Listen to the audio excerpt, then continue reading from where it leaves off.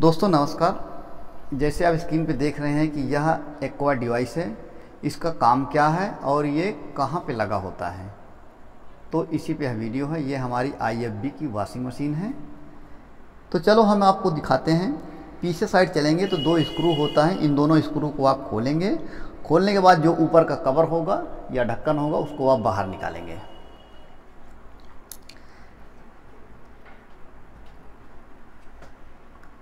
अभी एक स्क्रू खुला है और दूसरा भी हम खोल रहे हैं।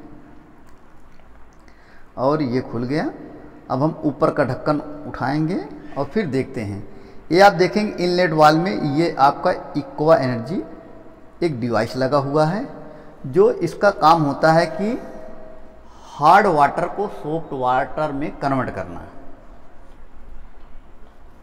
ये कन्वर्ट करता है और दूसरी बात यह है कि आप इसको चाहे बोरिंग का पानी से चलाओ या आप जो सप्लाई की पानी आता है उससे चलाओ, कोई भी फ़र्क नहीं पड़ेगा।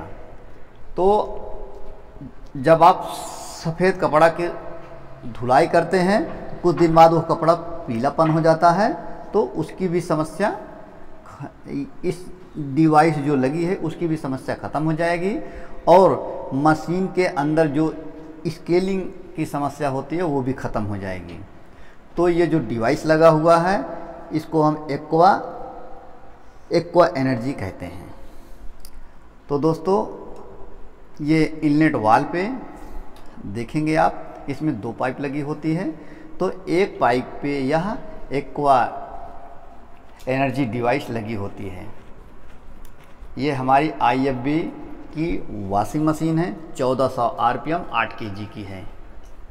तो जैसा कि मैं आपको दिखाना चाहता हूँ, ये आपका एक्वा एनर्जी लगा हुआ है। तो मैं ऐसी सी वीडियो आपके लिए चुन के लाऊँगा कि इनका कार्य क्या होता है और ये कहाँ पे लगे होते हैं।